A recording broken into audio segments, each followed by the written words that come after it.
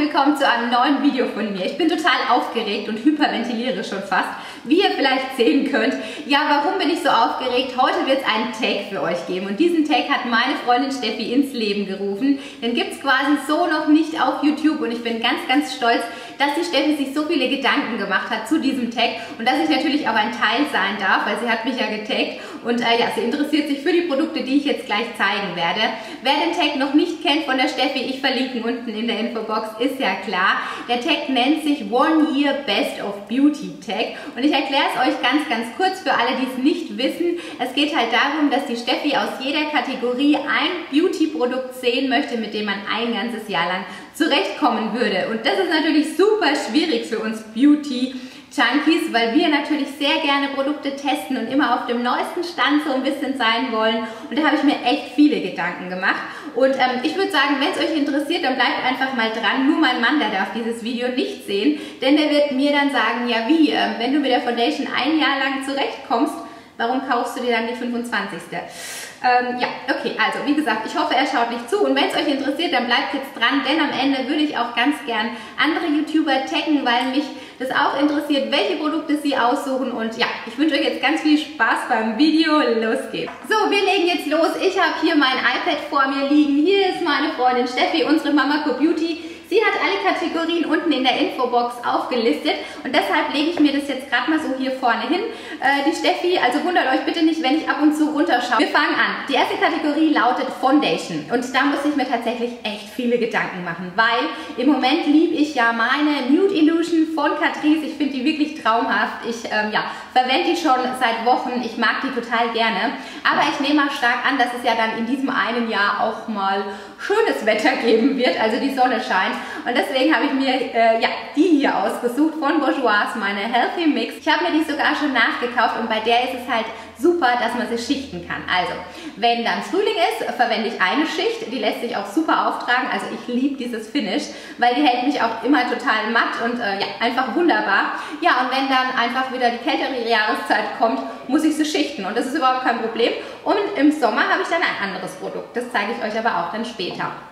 Da gibt es dann auch die Kategorie dazu. So, dann hat die Steffi aufgeschrieben Concealer. Ja, bei Concealer ist es ja bei mir immer ein bisschen schwierig. Ich muss da echt aufpassen. Und bis ich zu dem richtigen gekommen bin, war es wirklich eine Odyssee. Ähm, ja, weil ich habe ja hier unten sehr trockene Haut und dann habe ich immer Angst, dass es so in die Fältchen äh, sich absetzt, der Concealer. Aber die Steffi hat mir einen mitgebracht. Und zwar diesen hier von Benefit, den Fake Up. Und ich würde dieses Produkt nie wieder hergeben. Ich muss mir das leider nachkaufen, weil äh, ja, das Produkt ist... Äh, leicht äh, am Ende. Also wenn ich dieses Jahr starte, muss ich mir den dann neu kaufen, weil mit dem kann ich nicht losziehen. Dieses Produkt ist einfach total genial, weil es hat zwei Schichten. Also in der Mitte ist der Concealer und außenrum ist ein feuchtigkeitsspendendes Produkt, was natürlich meiner Haut total gut tut und ich liebe ihn. Ich habe ihr dafür meinen MAC Pro Longwear mitgegeben und sie kommt halt damit total gut klar und ich liebe halt diesen hier. So, dann die nächste Kategorie lautet Puder. Genau, das wollte ich euch sagen. Ich habe nämlich ein 2 in 1 Puder von Manhattan. Es ist dieses hier. Ähm, ja, im Sommer ist es halt so, dass ich eine leichte Schicht zum Beispiel nur drauf mache, also ohne Foundation. Ja, und wenn halt die andere Jahreszeit dann kommt, eben die kältere, ähm, ja, dann schichte ich das halt. Ich kann dieses Produkt auch zweimal auftragen, ohne Foundation zum Beispiel, oder mich leicht abpudern, dass es mich halt matt hält. Und ich liebe dieses Produkt und schaut mal, was mir passiert ist. Äh Ta ta ta ta, hit the pan. so, was haben wir denn als nächstes? Einen Bronzer. Okay, bei Bronzer habe ich mir auch schwer getan. Also Steffi, ne, was du mit mir machst, ist echt schlimm. So, ich habe mir viele Gedanken gemacht und ich habe euch ja in meinem letzten Drogerie-Haul meinen Bahama Mama gezeigt. Und äh, ja, seitdem ich ihn gekauft habe, habe ich ihn tatsächlich jeden Tag verwendet. Was natürlich ein bisschen schade ist, denn davor hatte ich meinen Too Faced und oh Gott, ich liebe ihn. Ich mag den so gerne. Ich liebe den einfach. Allerdings hat er halt einen anderen Ton. Äh, der hat halt so einen Orange-Stich, finde ich, so einen Unterton.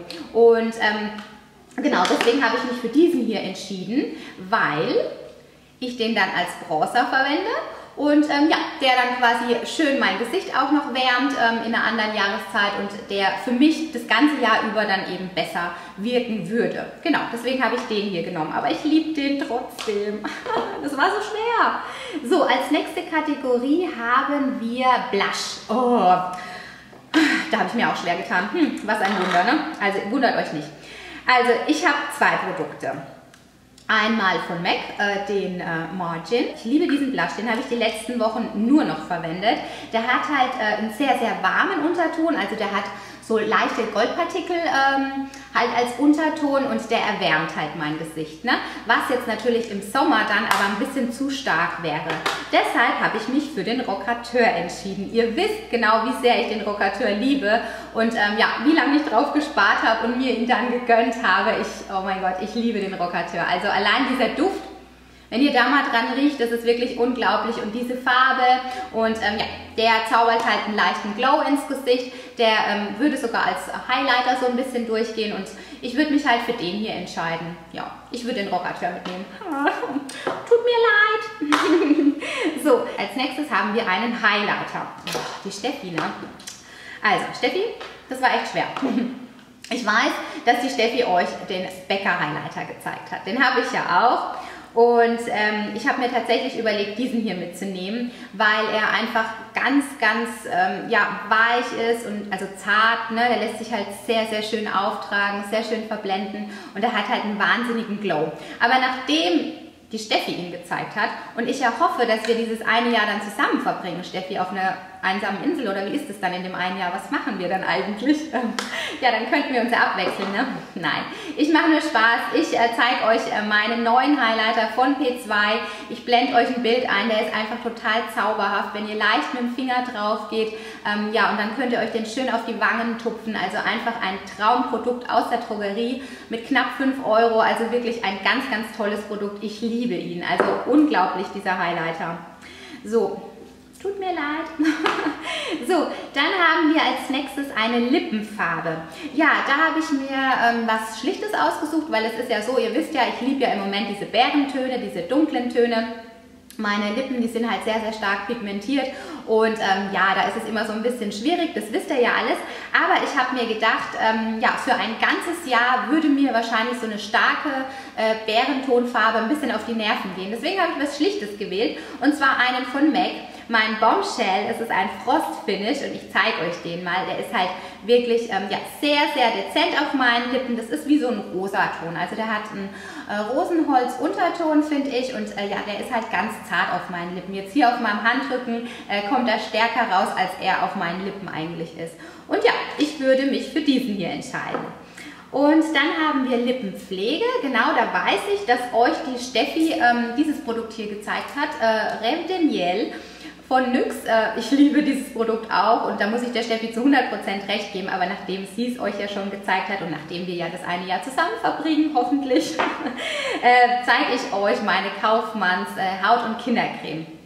Ich finde die wirklich total genial und für mich ist das ja ein 2 in 1 Produkt. Davon habe ich euch aber auch schon erzählt und zwar abends, bevor ich ähm, ins Bett gehe, also nachdem ich mein Gesicht gereinigt habe, trage ich mir die sogar hier ganz dick auf, also weil die mir einfach total gut tut und Feuchtigkeit spendet und ähm, ja, zu dem Thema von vorhin eben, dass ich hier sehr trockene Haut habe, ne, hier unterm Auge und ja, ich trage mir die abends dann eben auf die Lippen auch und morgens, wenn ich aufstehe, ist es ganz zart und ganz arg durchblutet. Also ich fühle mich einfach total wohl mit der. Die duftet gut und die ist halt ähm, ja, sehr, sehr preiswert, sag mal mal, aus der Drogerie. Ne? Also da kann man echt nichts sagen. So, als nächstes Produkt haben wir dann mein liebstes Thema Mascara. Oh mein Gott! Ich muss euch unbedingt nochmal ein Mascara-Video abdrehen. Das ist echt schlimm mit mir. Ich habe mir sehr schwer getan. Also diesen Satz habt ihr jetzt schon echt oft gehört. Ne? Aber bei Mascara, da bin ich halt echt total eigen. Und ich habe mir meine Baby Doll Mascara ausgesucht von Yves Saint Laurent. Ich liebe die. Und die geht leider dem Ende zu. Oh mein Gott. Ähm, ja, sie hat halt ein ganz, ganz feines Bürstchen. Und ich bin total überzeugt von dieser Mascara. Also ich habe noch nie äh, an einer Mascara gerochen und habe gesagt, die riecht gut. Ihr wisst, ich habe ja so einen kleinen Tick, ne? Ich muss immer an Mascara riechen. Sobald ich die aufmache, muss ich riechen. Und ich habe noch nie so einen guten Duft als Mascara in der Nase gehabt, äh, also als Duft, ne? Weil äh, Mascara riecht ja grundsätzlich eigentlich nicht gut, ne? Also das ist auch so eine ganz komische Sache, aber ist ja jetzt mal egal vom Duft her. Ich liebe einfach, wie sie meine Wimpern trennt. Ähm, ja, was für einen schönen Schwung sie mir einfach bereitet. Sie ist halt leider relativ teuer. Und deswegen muss ich ja sparen, damit ich mir die wiederhole. Also ich entscheide mich für die Baby Doll Mascara von Yves Saint Laurent. So, und jetzt ist die Steffi gerade mal kurz weg. Moment, ich bin gleich wieder da.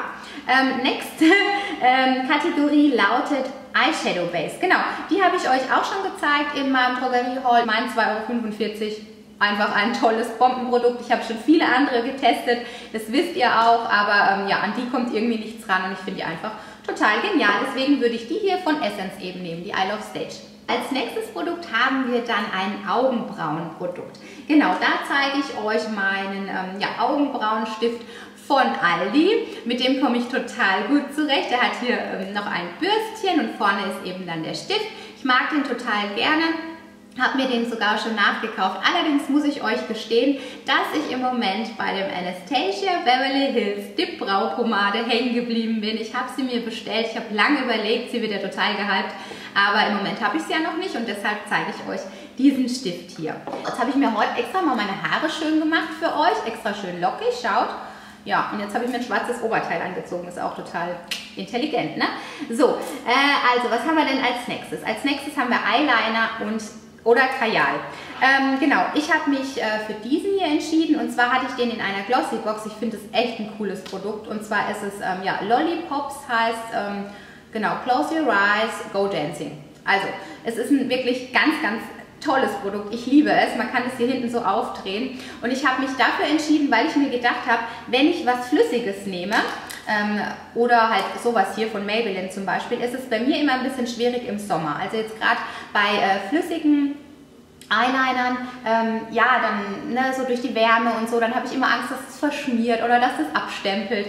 Und ähm, ja, da bin ich jetzt bei dem hier noch überhaupt gar nicht eingegangen. Und deswegen würde ich dieses Produkt hier nehmen. So, und dann hat die Steffi noch die Kategorie Lidschatten. Ähm, ja, also da hat sie ja auch äh, zwei Kategorien aufgemacht. Also sie hat erstmal eine Lidschattenpalette oder halt einzelne Lidschatten. Und ich weiß, dass die Steffi euch diesen hier von NARS gezeigt hat, den Lola Lola. Oh mein Gott, oh mein Gott, was für ein Traumprodukt. Ich liebe ihn. Also Liebeserklärung an dich.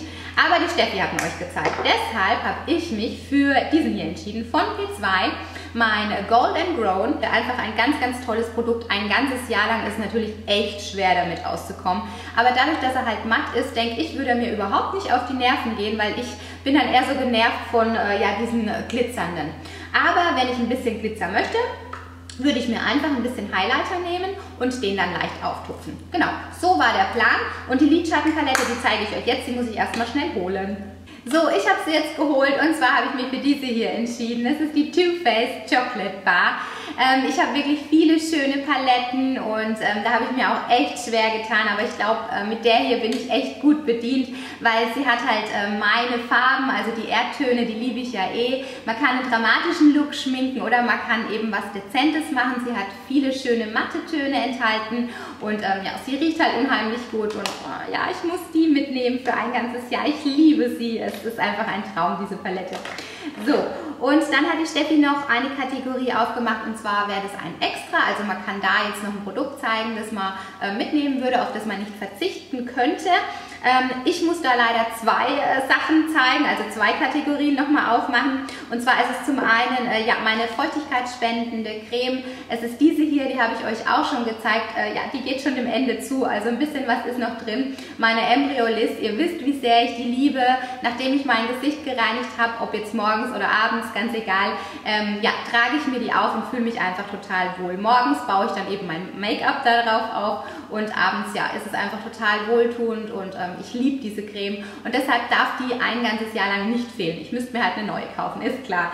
So, und dann... Ähm, muss ich euch noch was zeigen, auf das ich auch leider gar nicht verzichten kann. Also das gehört auch in meine Routine mit rein. Es ist halt so, wenn ich mich schmink, dass ich ähm, ja erst meine ähm, feuchtigkeitsspendende Creme auftrage und dann brauche ich immer einen Porenverfeinerer. Ich liebe dieses Gefühl, wenn äh, ja das Gesicht so ebenmäßig ist und ähm, ja, da habe ich euch ja schon ganz oft den von Benefit gezeigt, mein Professional, der geht jetzt dem Ende zu und ich habe mir jetzt tatsächlich überlegt, einen von Smashbox zu kaufen und zwar diesen hier. Äh, den hatte ich in einer Douglas-Bestellung mit dabei und so bin ich eben auf den gekommen. Ich habe noch den Good Skin Z Pore heißt der, genau, aber ich bevorzuge diesen hier. Also wirklich ein ganz, ganz tolles Produkt und ich glaube, wenn der leer geht, ähm, werde ich mir auf jeden Fall den nachkaufen. Also ich spare drauf. Da ist jetzt zwar noch was drin, aber dieses Produkt muss ich euch auf jeden Fall auch noch zeigen, mit dem ich dann ein Jahr lang klarkommen würde. So, das waren jetzt meine ganzen Produkte. Ich habe die jetzt hier reingepackt. Also Steffi, es kann losgehen. Ein ganzes Jahr. Wo fahren wir denn hin? oh je, ich glaube, mein Mann erzählt mir was anderes, gell? Und deiner auch. Naja, ist egal. Man wird ja wohl noch träumen dürfen. Also, vollgepackt. Schaut mal, mit dem hier würde ich alles auskommen. Ne? Da wird mir mein Mann echt was erzählen, wenn er das Video sieht. Ich würde natürlich auch noch total gerne andere YouTuber taggen und äh, ja, mich freuen, wenn sie natürlich mitmachen, damit sich dieser Tag verbreitet. Ich sage euch, wen ich tagge und zwar zum einen die liebe Madeleine, ihr Kanal heißt Honeylähnchen, ihr kennt sie wahrscheinlich alle. Dann äh, meine liebe hübsche Curly Ann 87 Sie ist bildhübsch und schaut auf jeden Fall auf ihrem Kanal vorbei, so wie bei allen anderen auch. Die verlinke ich euch unten in der Infobox. Dann verlinke ich super gerne meine Freundin Chidem und meine Freundin Maria. Ich hoffe, ihr macht mit, hört auf mir zu schreiben. Mein Handy piepst die ganze Zeit. Ich mache doch gerade ein Video. ja, genau. Und dann tagge ich auf jeden Fall noch die äh, ja, wunderschöne Pretty Faces XO. Ähm, und ich freue mich natürlich, wenn ihr mitmacht. Und ich bin auf eine neue YouTuberin gestoßen, also für mich neu. Sie ist bildhübsch und ähm, ja, ich würde mich wahnsinnig freuen, wenn auch sie mitmacht. Ihr Kanal heißt Tamtam. Ich gehe davon aus, dass sie dieses Video nicht sehen wird. Aber ihr könnt ihr ja mal in die Kommentare schreiben, dass ich sie getaggt habe. Vielleicht würde sie diesen Tag sehr gerne mitmachen. Also Liebes, ich freue mich, wenn du mitmachst, weil es würde mich echt interessieren. Und ansonsten hoffe ich, dass euch mein Video gefallen hat. Ihr könnt es sehr, sehr gerne teilen. Erzählt allen anderen davon. Wenn ihr selbst YouTuberin seid, dann macht sehr, sehr gerne mit. Ich tag euch alle quasi. Ähm, ja, ich würde mich total freuen, wenn er sich, wie gesagt, verbreitet. An dich, liebe Steffi, nochmal herzlichen Dank für deine Mühe, für diese tolle Idee und dass du mich natürlich getaggt hast. Und äh, ja, allen anderen wünsche ich jetzt einen wunderschönen Tag. Lasst es euch gut gehen, meine Lieben, und bis zum nächsten Mal. Tschüss!